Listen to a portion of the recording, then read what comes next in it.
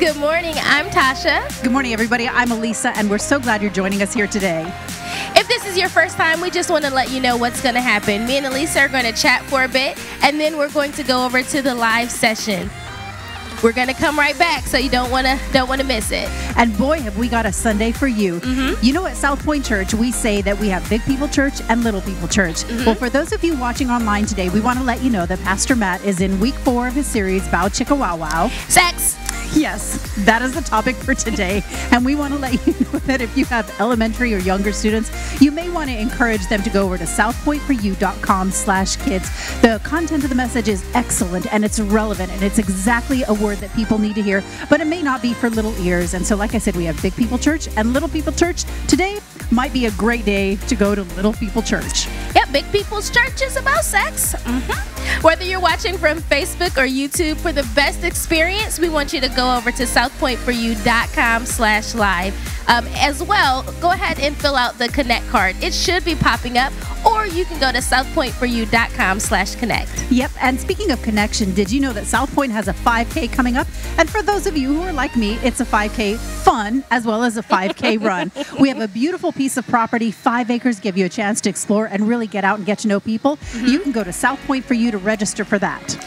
And also, talking about fun, it's also going to be a great opportunity. The fun run is going to be a great opportunity for families so that you can bring your littles out, let them get some energy out, and then also support the cause. And you know, the cause that you're going to be sort supporting is to send our middle school and high school students to camp this summer. They'll be going to Florida for a week to hear about God, to meet other students who are in the same age group that they are, and just really enter in and have a great time. So if you go to southpointforyou.com slash 5K, again, southpointforyou.com slash 5K, you can learn more about what you'll be supporting and how to register for this really fun event. That's wonderful. Um, it's just a wonderful experience for them. And speaking of connecting with God as well as others, in Psalm 18 1 through 2, it says, I love you, Lord. Lord, you are my strength. Uh, God is really our strong tower. Amen. So we're going to just go ahead and worship. We're going to worship with the live team now. Amen. Good morning, SouthPoint. We invite you to stand with us.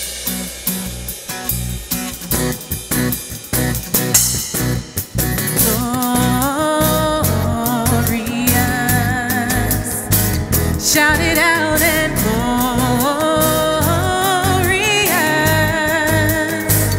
Make it louder. Jesus, we shout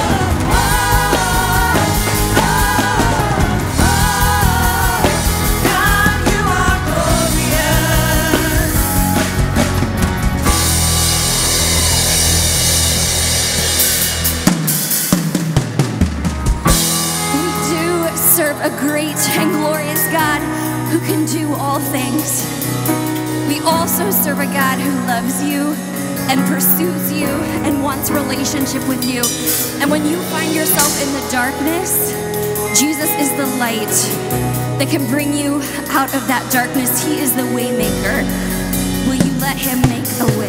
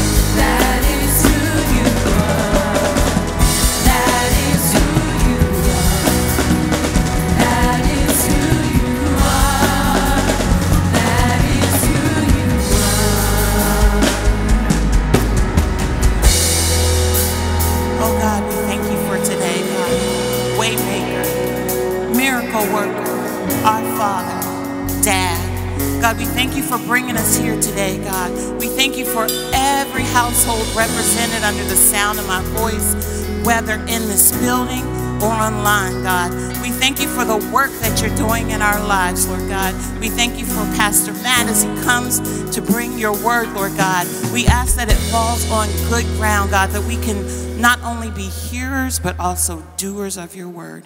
In Jesus' name, amen.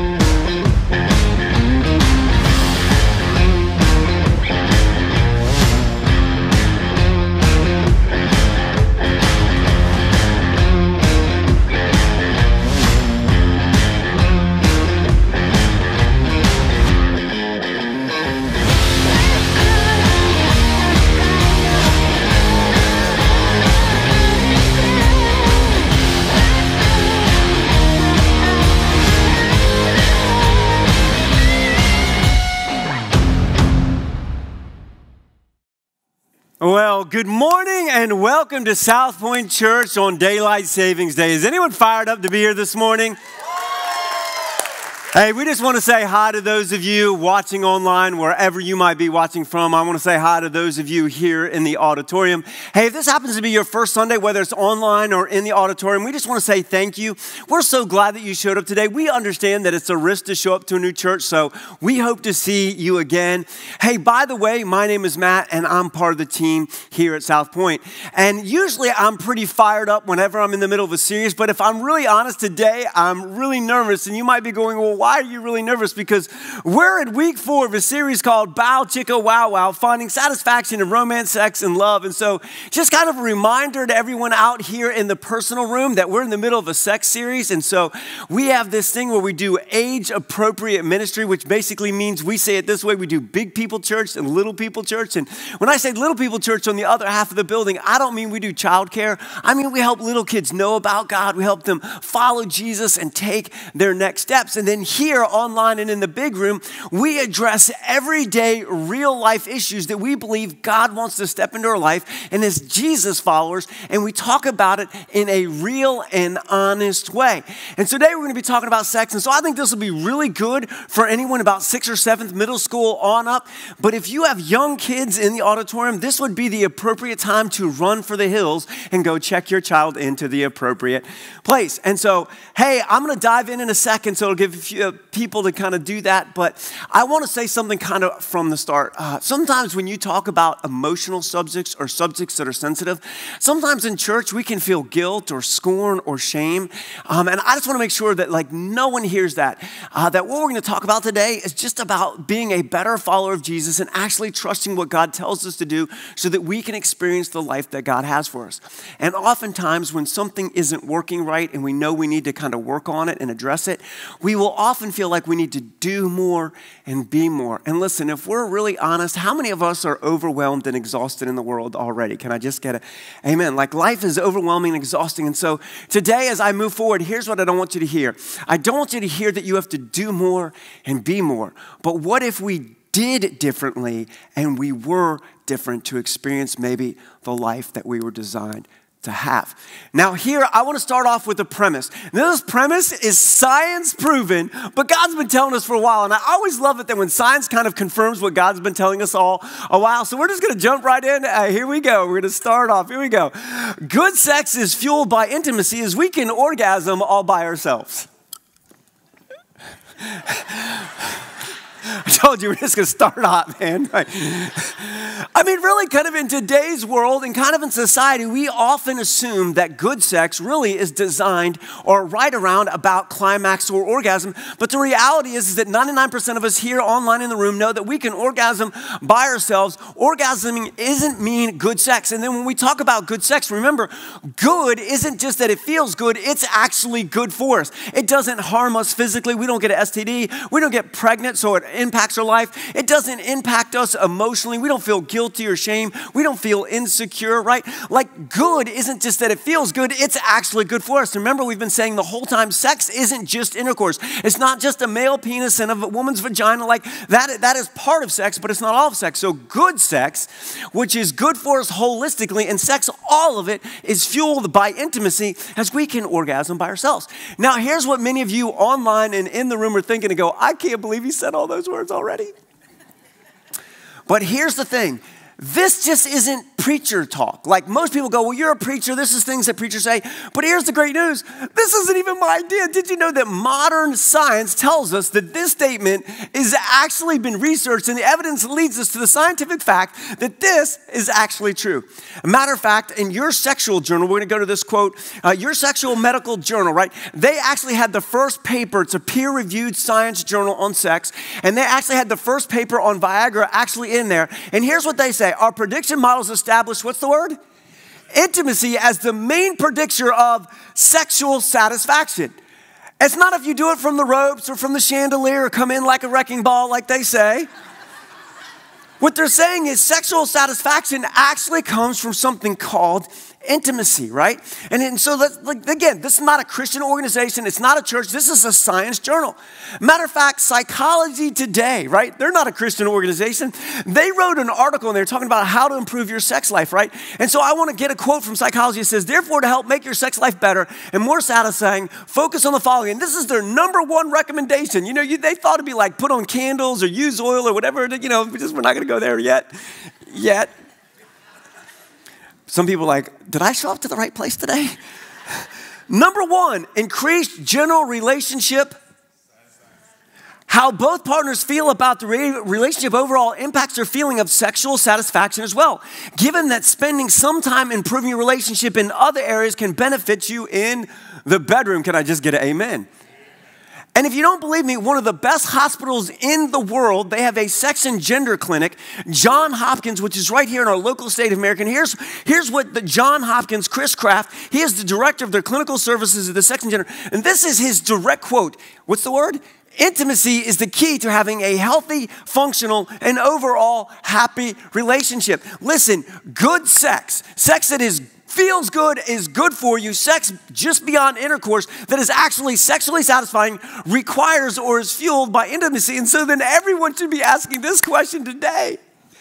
Well, how do I build intimacy and how do I fuel this thing called intimacy? Because there's a thing that we all want to experience in life. Listen, everyone wants romantic attention, everyone wants sexual satisfaction, and everyone wants love unfailing. It doesn't matter if you showed up today and you're single or you're married or it's complicated. And so, how do we do this? And so, I want to I want to give us a little bit of like what, what intimacy looks like. And so, this, just just kind of like I'm going to give you the overview. Exclusivity and security fuels intimacy. Exclusivity means that you are in a relationship where someone says, "I choose you."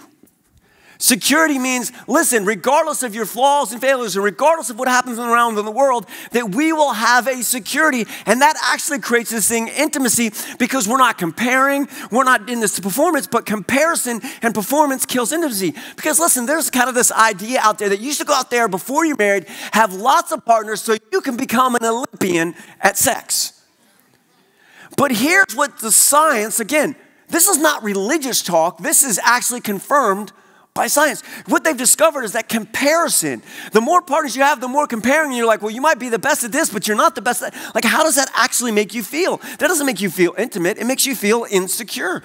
And if it's a performance thing, then it's just like we've got to hit these heights and it's always performance and you hit performance anxiety and you actually don't get to relax and enjoy it. And so exclusivity and security fuels intimacy. Young people online in the room, if you're here, do not believe the lie that you got to go out and give yourself away and practice because it actually kills the very thing that you need, which is exclusivity and security that fuels intimacy and a lifelong relationship.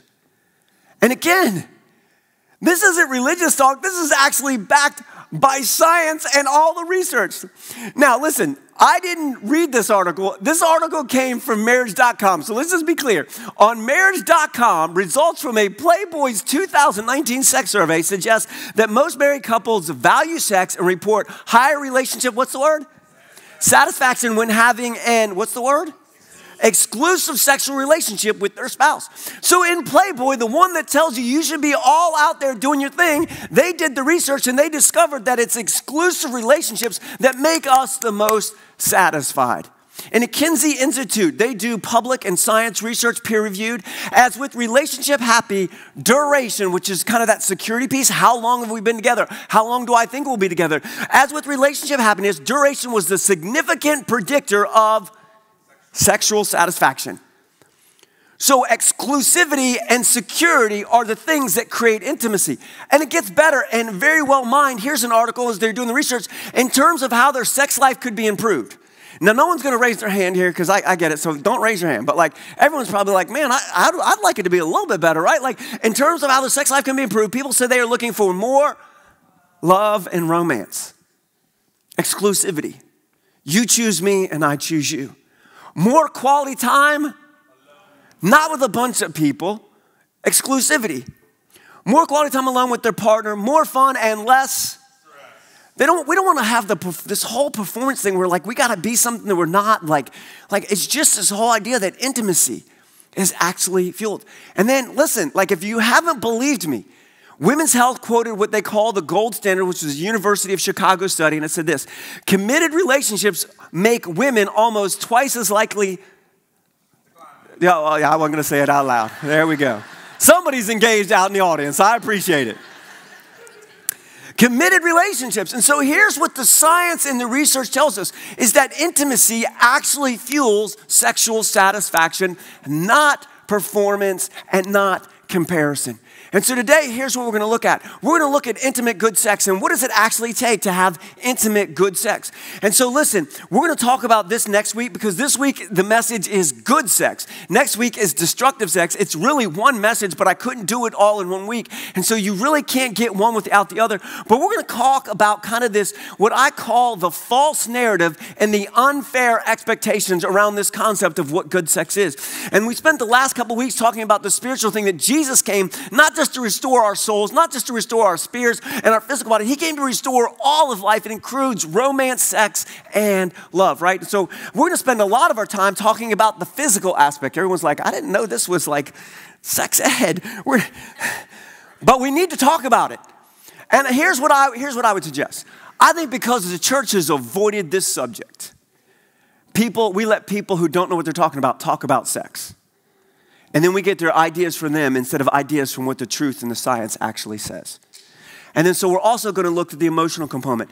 But before we do that, because listen, anytime we talk about a sensitive and emotional subject, here's what I've discovered is people will go home and said, Pastor Matt said.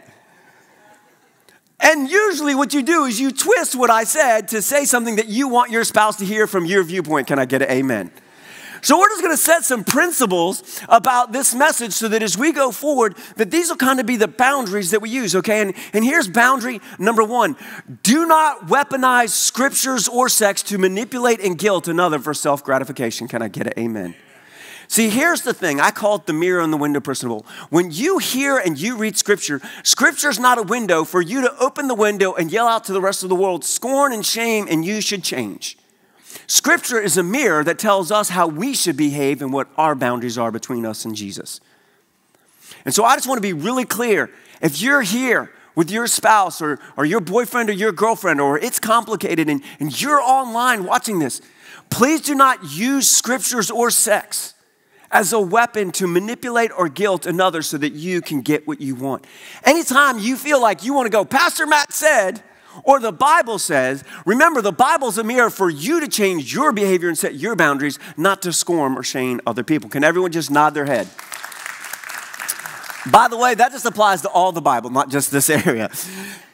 Here, here's the next kind of boundary, and it's this right here. Spouses are, what's the word? Spouses are unique individuals and generalizations exist for a reason. There is a reason why there's generalizations around females and around males. There's a reason for it. But here's what I discovered your spouse is unique, and you should communicate and understand what it is that they like and what they feel and how they feel loved, all those kind of things. And so, listen, if I say this thing applies to males in general and it doesn't apply to you and you're a guy, that doesn't make you less than, that doesn't make you any less manly. It just means you're different. Different isn't bad. And if I say something generally applies to females and that doesn't apply to you and you're female, that doesn't make you any lady less like. I'm not talking about gender assignment. I'm just saying that every spouse is unique. Can I get an amen? And that we should understand our spouse. That's our responsibility.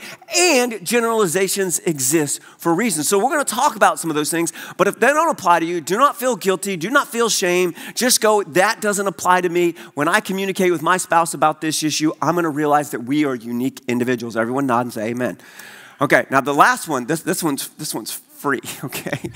Healthy relationships are made up of healthy, what's the word? Oh, like three people are excited about this. For, come on, man. Like healthy relationships are made up of healthy individuals. And here's what I discovered no problem in a relationship solves itself. We have to communicate, we have to work, we have to put on our big boy pants and our big girl pants. And when something isn't working in our sex life or something isn't working in our marriage, we can't play the blame game. There are no winners in the blame game. Healthy relationships are made up of healthy individuals who set healthy boundaries and address the issues that they have in marriage instead of complaining to everyone except talking to the person that they are with. Can I get an amen? Okay, so those are, those are just the boundaries. And back to kind of what the main idea of this message is how do we have intimate, good sex? And so we're going to talk a lot about the physical and emotional, but I kind of wanted to kick this thing off with kind of kind of the spiritual. And here's the reason I want to kick off the spiritual. And listen, if this is your first Sunday online or in person, please go back to week one. I apologize for the misrepresentation of the church, and I admitted the reality that the world misuses sex, and we talked about that. So if you're here and you're scarred or wounded, we all carry scars and wounds from church in the world. Please go back and watch week one. But I do want to set the spiritual foundation as we talk about the physical and the emotional, because they should be the primary principles in which we execute this physical and emotional. So I'm going to go all the way back to the, the beginning, and it's where we actually actually got the title for our series, Bow Chicka Wow, and it's this, right? Way back in Genesis, do you know what the first command in the Bible was? The first command in the Bible says, then God bless, what's the word? Them. He blessed them, male and female. So females aren't just supposed to be blessed, and males aren't just supposed to be blessed. He blessed who? Them, both. So there's this mutual thing. And then he said, Be fruitful and multiply. Bow, chicka, wow, wow. I mean, literally, the first command in Genesis is God gave humanity a whole planet, said you can eat of everything. They were naked, beautiful, unashamed. And He says, Man, have at it. Sex is God's idea. He's not confused by a penis or vagina or orgasm, He understands it. He blessed them. And so here's principle number one when it comes to male and female, they're supposed to both be mutually blessed. Mutual. Everyone just nod your head. Not just me, not just you, but we. Okay. Then we go to what Jesus says. Jesus, he says, listen, here's my command. Here's a new command I give you. A new command I give you. Love one another as I have loved you. So if you're here today and you kind of go, I don't know if I'm really into following Jesus, right? Or maybe you grew up with something other. But if you're here and you say, I'm a fully surrendered follower of Jesus, Jesus' command to you, Jesus' command to me as a follower is that we're to love one another as I loved you, so you must love one another. He sets the standard for followers of Jesus who are husbands and wife, is it is not about you. You are to love the way that Jesus loved you. And he said, I came not to be served, but to serve and to give my life as a ransom. Can you imagine how beautiful marriage is when a husband and a wife are racing to the back of the line to see who could serve each other the most? So it is mutual. It is supposed to be, everyone's fired up about that, I can see. It's supposed to be selfless, right? And then literally there's this guy, this guy's name is Paul, right? And you have to understand, Paul was not an original disciple. Matter of fact, he used to kill Christians until he encountered a risen Jesus. And matter of fact, Paul died in about 72 AD. So this idea that Jesus myth, that the tomb was empty was a myth, is, is just not true. The Apostle Paul died in 72. Jesus was crucified in 33. The Apostle Paul had an experience with the resurrected Jesus. And he was speaking to a church a lot like SouthPoint, man. It was made up of people who, who kind of had no faith, some people who were kind of done with church, and some people who'd grown up in church, right? And they lived lived in the city that was kind of like Las Vegas, but on steroids, right? And they didn't understand this whole idea about sexuality. Are they allowed to do it? What aren't they allowed to do? And so he begins to speak, but he turns the world upside down with this premise to love as Christ loved. He says, To the husband should fulfill his wife's sexual needs. And I just want you to know that in first century, everybody would have been freaked out because women were considered second class citizens and were considered chattel. Matter of fact, in some cultures, unmarried women couldn't even testify in court. This idea that they were equal value, equal image bearers meant that it wasn't just their job to fulfill his needs, it was his job to fulfill his wife's sexual needs, and the wife should fulfill her husband's needs. The wife gives authority over her body to her husband, and the husband gives authority over his body. This would have been shocking in the Roman world, anywhere in the world, where someone would say, God is telling you, men, that you are to submit yourself to your wife and give your body to be one was absolutely ridiculed. But Jesus tells us this, and Paul tells us this is because that we love the way Christ loved us, that we are equal image bearers. Now I want to stop for a quick second because I understand that in modern evangelical kind of Christian in the West in the last hundred years, the scripture has been misused to tell women you should just do whatever your husband wants. And that's, that's abusive. That's, that's not what this scripture is saying. What the scripture is saying is, it isn't a prison to yes, it's a posture of the heart. See, men, we don't get to say, hey, I don't have to do anything outside the bedroom, but yet the Bible tells me you should do everything I want in the bedroom. That's not what this says. Women, this doesn't say, listen, your body belongs to me, and because it works differently, I don't want to do it. Kind of the things, you know, I, what your needs are don't matter to me, and so I'm going to just say no because this is what it says I have authority over your body. Whenever we take this to extreme and make it all about us, we misuse this. This is not a prison of yes, it is a posture of the heart. Can we all shake our heads? Okay.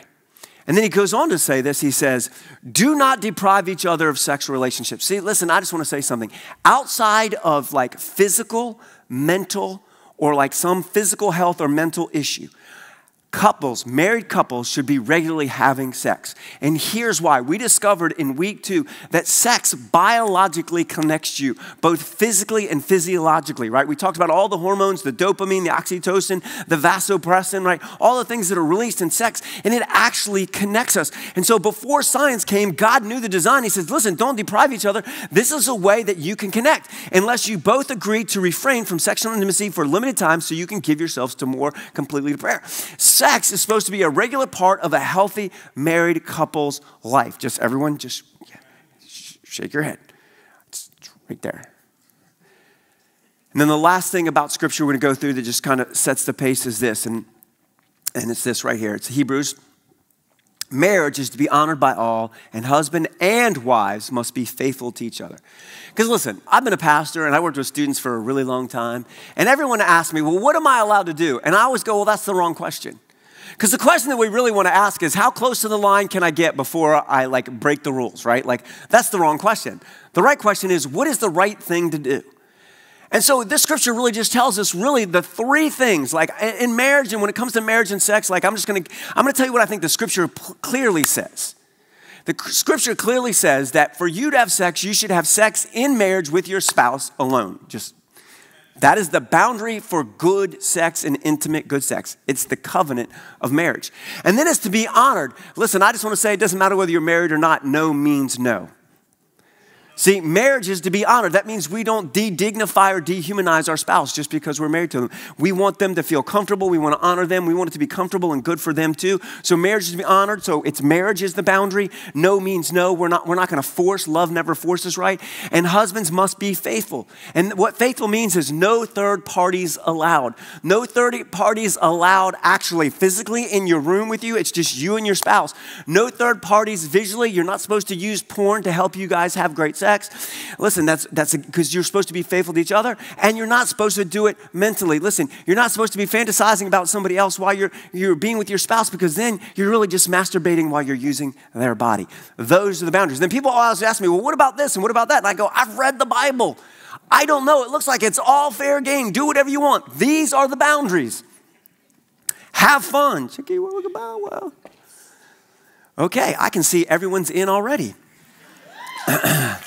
All right, now we're gonna get to the part I'm sweating already.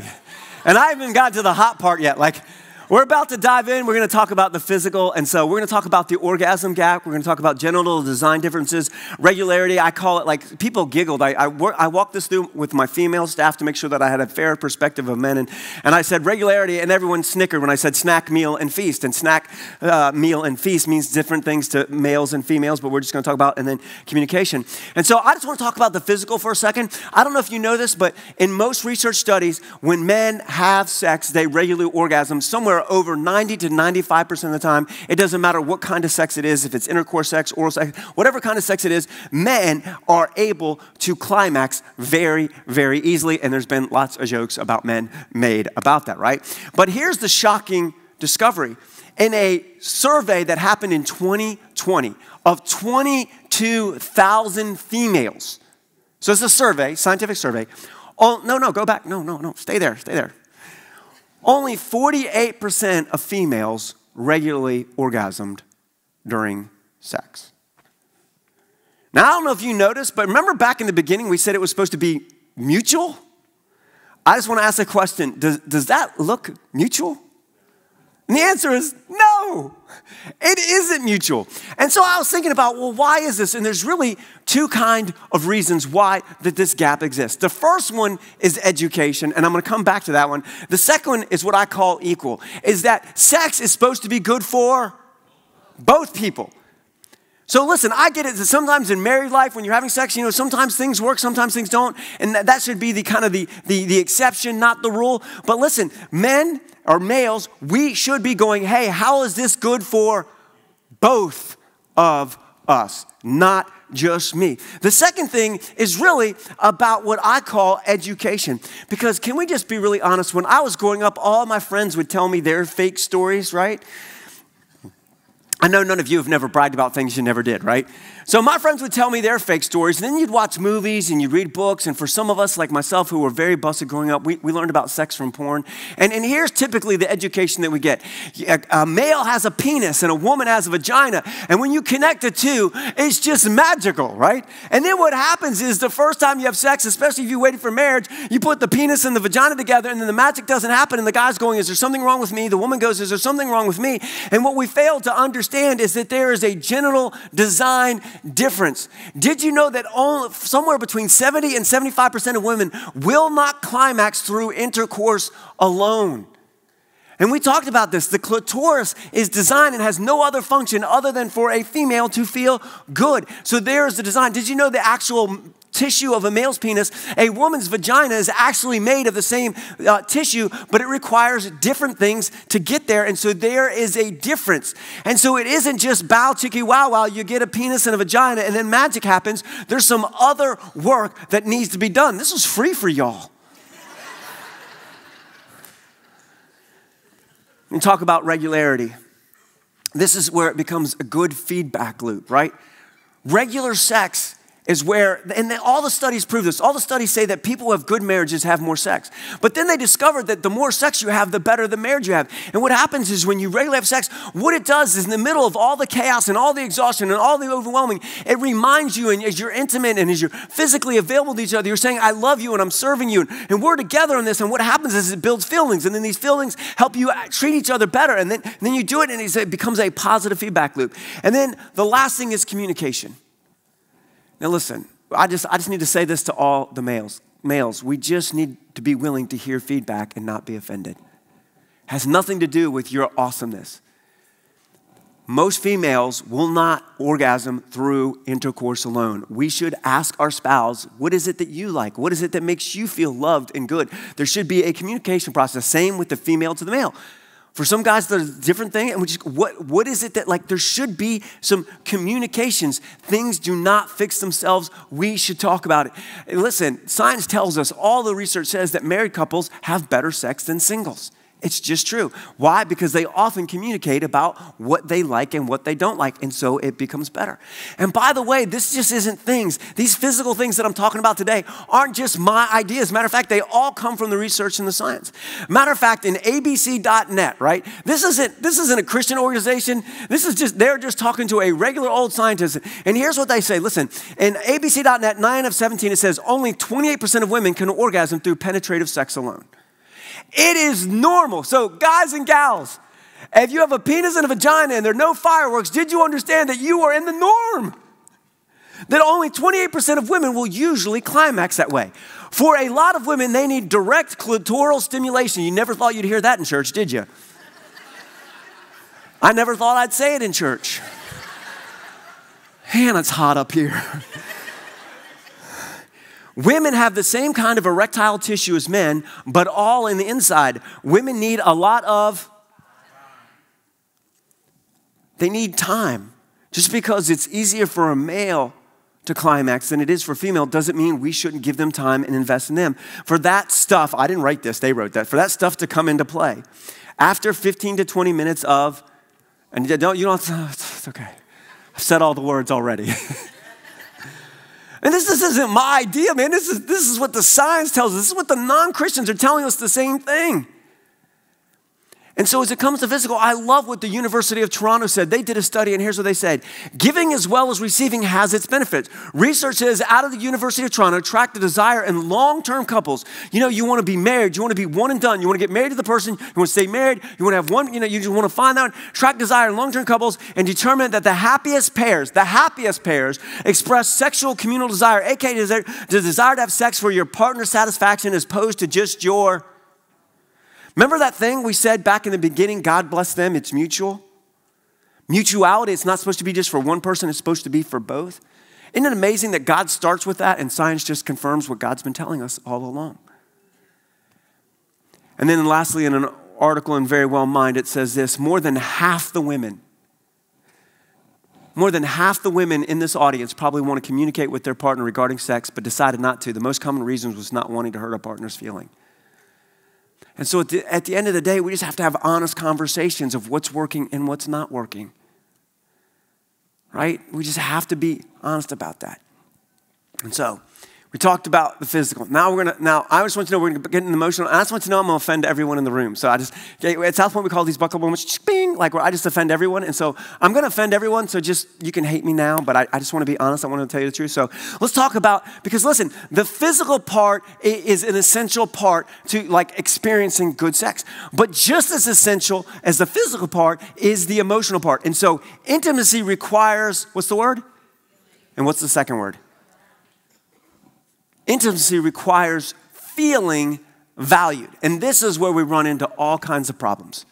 Because we believe as a spouse, well, I'm valuing you, but it doesn't matter if you think you're valuing them. It matters if they if they feel valued. Because what often I think value is doesn't really mean value to my spouse. I've discovered after 28 years of marriage, the things that make me feel valued are the opposite of what make my wife feel valued. And so here's reality both female and male actually want to feel valued. And again, I'm to speak in generalities, but women want to be seen more than just as sex objects. And men, we just want to feel valued as a sex object. We want to be wanted. And we'll get to a joke, and everyone's going to understand it in a little bit. But I want everyone to understand feeling valued matters to both men and women. Can I get an amen? But here's the tricky part females and males generally feel valued I think marriage is God's cosmic joke. He puts different people together. We just well busted, right? And then here's the part that's going to be offensive. It's different for me. It's different for me than it is for you, so I have an excuse to not actually meet your need because it's different. Listen, that's a fair feeling. It's an unfair excuse. Say amen. Come, uh, no one, no, come on. Oh, man. Come on. Let, us talk. Let's, I'm going to use some generalities. And again, these are just generalities, but I'm using an example, right? Like typically, typically, and this doesn't have to be true, but say a, a spouse, right, a female, she values and feels valued through conversation, and you're an introvert. And you go, well, that's just not me. I'm not a talker. I, I don't talk. I don't want to talk when I come home. I'm tired. I'm tired. I'm not in the mood to talk. That's just not me. And well, they'll just have to get over it. Well, that's, that's a fair feeling, but it's just an unfair excuse because if they really need it and it's that thing, just because you don't need it doesn't mean it invalidates that need. Can I get an amen? Oh, don't worry, ladies. Your turn's coming Right? If she needs to feel like you are looking her in the eye, putting your phone down, putting the laptop down, taking a few minutes to hear from her, look at her, and see her as a human being who has feelings, and that is her need, then even if that's not your thing, you don't get to say it's different. Just because it's not your need doesn't illegitimize somebody else's needs. Now, ladies, the same thing is true. When a man goes, you know, Come on, lady. Got any married ladies in the house? Got any married ladies in the house online? Just maybe type married in the chat, right? Like, listen, have you ever seen your man do the naked dance? See, all the married women are laughing right now. And all the men, we think it's hilarious. We just think, look at me, I'm awesome. Look at me. Ha. And the woman's just like, what's, what's wrong with you? And you're like, oh, I want you to say I'm awesome. Look at this. This is awesome. And she goes, you're a moron, right? And that might not be, a, see, all the ladies are laughing because you know what I'm saying is true.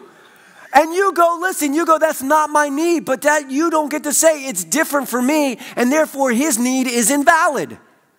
See, the problem is just because it isn't our thing doesn't invalidate their thing. And when you love somebody, you try to meet them where they're at if it's within bounds. Can I get an amen? And I'm, this is kind of my own saying, but I found it to be so true in decades after decades of working with married couples. And so I'm going to say it this way Females, in general, being for me outside the bed confirms you're for me. Males, if you want it to work, bow, ticky, wow, wow, you want things to work and to be ready, you have to be for her outside the bedroom. It'll confirm that you're for her in the bedroom. Without that, she will not often feel that way. Yeah, see, there's somebody fired up about that. Right? Now, guys, and here's what's shocking guys are the exact opposite. Shocking, I know. Being for me in the bed confirms you're for me outside the bed. For most males, we feel like when you love us in the bedroom, then you are for me outside the bedroom. And so people go, Why is marriage so hard? Well, just look at that. They are literally opposite. What do you mean outside the bed? Like, listen, have you ever, like, I, I, like, listen, this is so true. I heard someone say that, that, that females, they desire non sexual affection, and men go, What is that?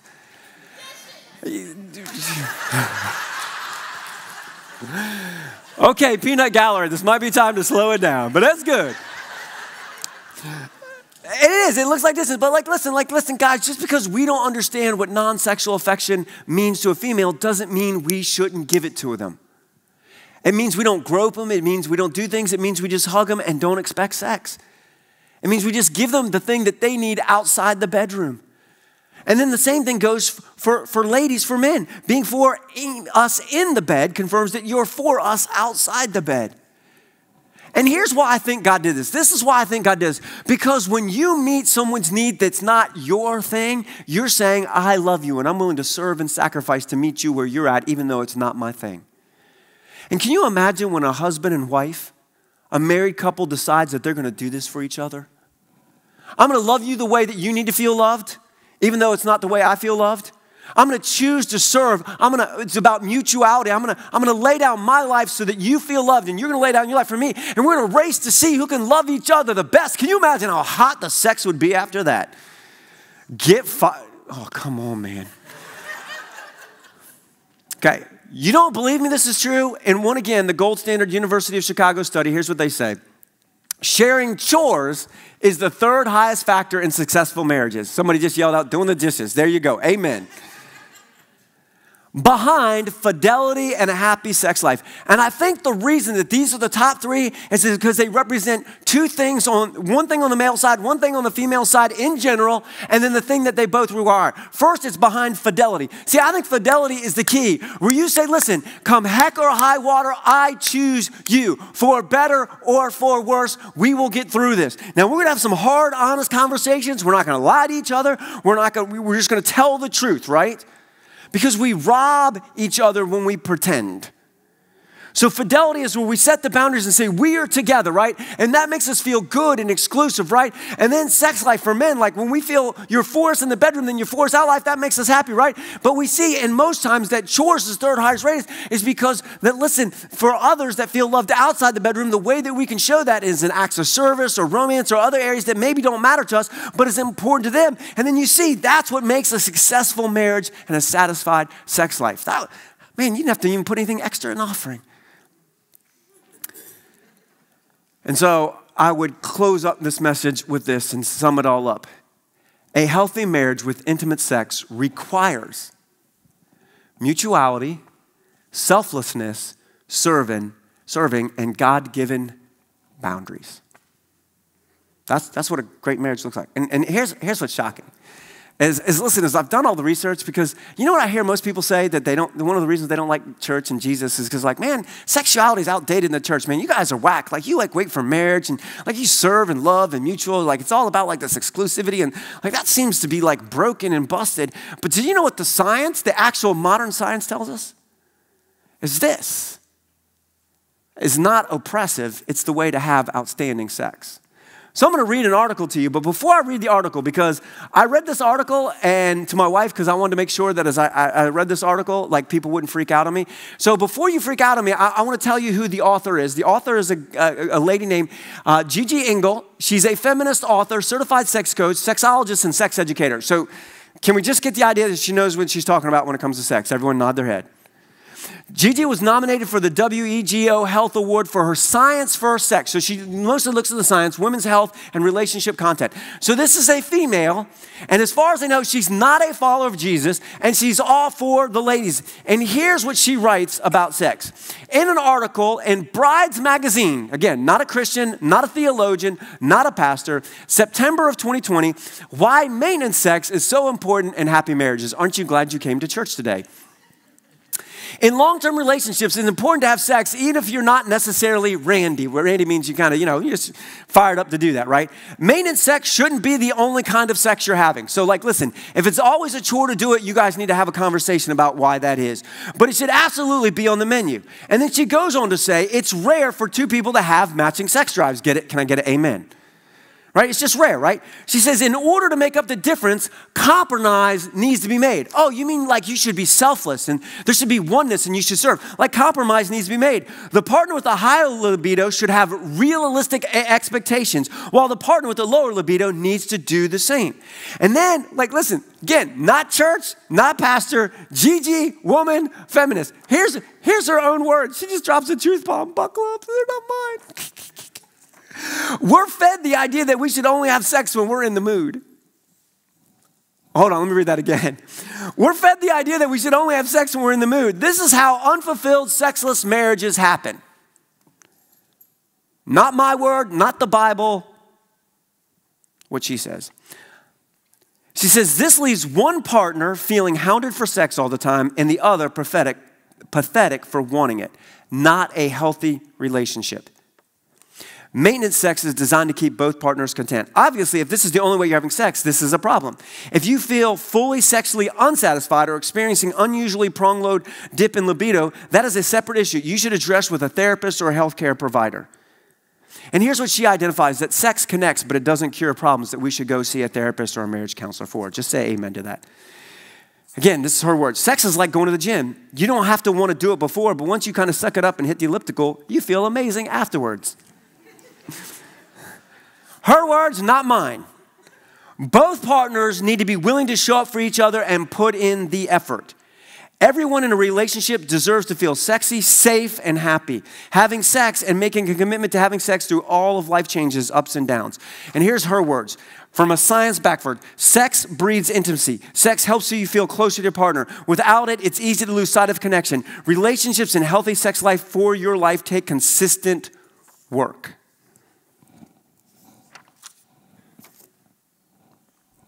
It just takes work. So I have two challenges. Challenge number one please come back next Sunday as we talk about destructive sex, because this was only half of the message and I still went five minutes over. So please do not miss that. If you can't make it, go back and watch the video. And then here's really my second challenge if you're here and you're kind of single or it's complicated, hopefully this is some good foundational for you as hopefully you get into a place where you're in a marriage covenant where you can experience this. But if you're here and you're married, here's my challenge is away from your kids. Take a half an hour, go someplace where you can have a private conversation. And I'm not talking about like 11 o'clock at night when you're exhausted. I'm talking about where you're fresh, where the kids aren't going to be bothering you, and taking half an hour. And there's just two questions I want you to talk to each other about honestly. One, on a scale of one to 10, where's our marriage at? And why? How can we work on this? And then the second question you should ask in that half an hour, that hour time where you're together to talk about marriage, go, hey, on a scale of one to 10, honestly, you don't need to protect my feelings because we're big girls and big boys, right? Nod your head. How's our sex life on a scale of one to 10? And what can we do to improve it? Because we've said all along through this series, Jesus came that we might have life and life to the full. Jesus died for our souls and for our spirits, absolutely. Jesus died so that we could become the children of God, absolutely. But he also died to restore all of life, which includes romance, sex, and love, so that we can experience the gift that God has given us. Would you stand with me and let me close in prayer? Heavenly Father, thank you for your truth, God. Thank you that modern research has just confirmed what you've been telling us all along that men and women are equal image bearers and that it should be mutual. God, thank you for the teachings of Jesus where he says the new command to love, not as we want to be loved, not as we've been loved, but as Jesus loved us. God, that you gave us the boundaries of marriage and honor and fidelity, God. And God, what I love is that failure does not disqualify. God, I pray for anyone here who hears shame and scorn and guilt, because that's not what you offer, God. There is no sin that can be committed that the blood of Jesus can't forgive. And you're not in heaven waiting to step on us, God. You love us. You tell us the truth so we can experience life. God, that we can bring our flaws and our failures to you. And you love us and you cleanse us.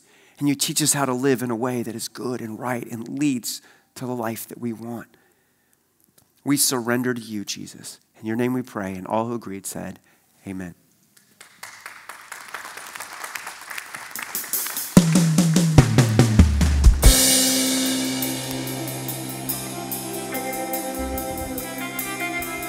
Lord, I confess that I've been a criminal. I've stolen your breath and sang my own song. And Lord, I confess that I'm far from innocent. These shackles I wear, I bought on my own.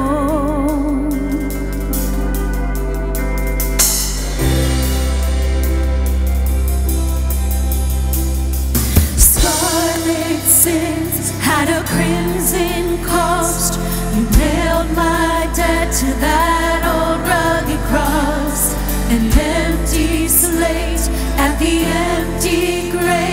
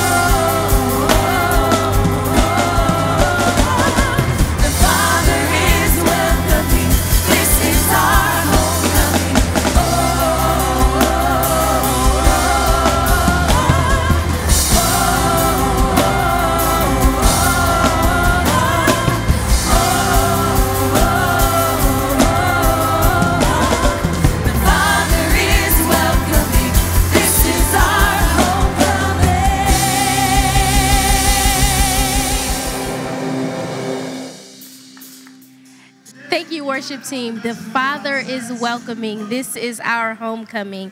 That's such an amazing song. As well, thank you, Pastor Matt, just to just for being able to talk about a hard topic, but in a very good way, a very needed way.